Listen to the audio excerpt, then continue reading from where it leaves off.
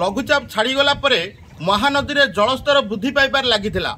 ଗତକାଲି ଯାହା ଆମେ ଅପଡେଟ୍ ରିପୋର୍ଟ ନେଇଥିଲୁ ଜଳସେଚନ ବିଭାଗ ତରଫରୁ ଆମର ଦେବୀ ନଦୀରେ ବନ୍ୟା ଜଳ ତାର ବିପଦସଙ୍କୁଳ ଉପରେ ପ୍ରବାହିତ ହେଉଥିଲା। କିନ୍ତୁ ଆଜି ଏକ ଦୃଶ୍ୟ ଦେଖିବାକୁ ମିଳିଛି ସେହି ବନ୍ୟା ଜଳ ବର୍ତ୍ତମାନ ନଈଗୁଆ ପଞ୍ଚାୟତର ଓସିଆ ଗାଁରେ ଗୋଟେ ବ୍ୟକ୍ତିବିଶେଷ ଘରେ ବନ୍ୟା ଜଳ ପ୍ରବେଶ କରିଛି ସମ୍ପୂର୍ଣ୍ଣ ପରିବାର ବର୍ତ୍ତମାନ ଜଳବନ୍ଦୀରେ ଅଛନ୍ତି। କିନ୍ତୁ ବର୍ତ୍ତମାନ ସୁଦ୍ଧା ପ୍ରଶାସନିକ ସ୍ତର ତରଫରୁ କୌଣସି ପ୍ରକାର ସହାୟତା କି କୌଣସି ଅଧିକାରୀ ଏ ଜାଗାରେ ଉପସ୍ଥିତ ନାହାନ୍ତି।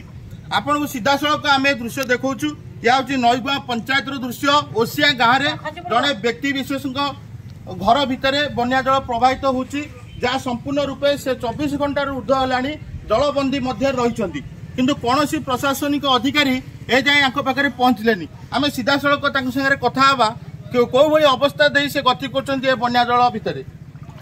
ବଡ଼ ଦୟନୀୟ ଅବସ୍ଥା ସାପ ବେଙ୍ଗ ଦୁନିଆ ପ୍ରକାର ଘରେ ବସୁଛନ୍ତି ଖାଇବା ପିଇବା ରୋଷେଇବାସ ବନ୍ଦ ଗ୍ୟାସ୍ ଫ୍ୟାସ୍ ନାହିଁ ଭଲ ମନ୍ଦ ନାହିଁ ଚୁଲି ଜାଳ ନାହିଁ। ଆଉ ଏଇ ଶୁଖିଲା ଯାହା ଚୁଡ଼ା ଦିଟା ବିସ୍କୁଟ୍ ଟିକେ ଖାଇ ପାଣି ଟିକେ ପିଇ ରହିବା କଥା କୌଣସି ଅଧିକାରୀ ପହଞ୍ଚିଛନ୍ତି ଆପଣଙ୍କ ପାଖରେ? ପ୍ରଶାସନିକ ଅଧିକାରୀ କି ଗାଁ ଲୋକ ୱାର୍ଡ଼ ମେମ୍ବର ସରପଞ୍ଚ କେହି ପହଞ୍ଚି ନାହାନ୍ତି ଆମେ ଯାହା ଦେଖିପାରୁଥିଲେ ଚବିଶ ଘଣ୍ଟାରୁ ଉର୍ଦ୍ଧ୍ୱ ବିତିଗଲାଣି। ସ୍ଥାନୀୟ ଜନପ୍ରତିନିଧି ଆସିନାହାନ୍ତି କି କୌଣସି ପ୍ରକାର ପ୍ରଶାସନିକ ଅଧିକାରୀ ଆସିନାହାନ୍ତି। বর্তমানে সম্পূর্ণ পরিবার জলমগ্ন ভিতরে অনেক ঘর চতুর্পাশে বন্যা জল ঘেরি রয়েছে আম পাখে এ ঘরের জন মাউসী অনেক আসুন তাঁকু বুঝবা আজ্ঞা এই বন্যা জল ভিতরে আপনার কত দিন কাল ঠার রহলে খাদ্য পেয় কোণ কোণী অধিকারী পৌঁছি না কেই আসি না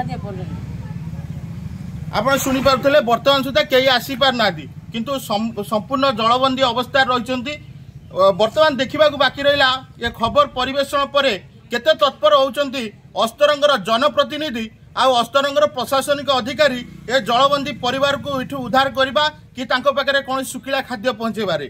ଅସ୍ତରଙ୍ଗରୁ ଆର୍ଯ୍ୟ ବିଶ୍ୱାଳଙ୍କ ରିପୋର୍ଟ ରିପୋର୍ଟର୍ସ ଟୁଡେ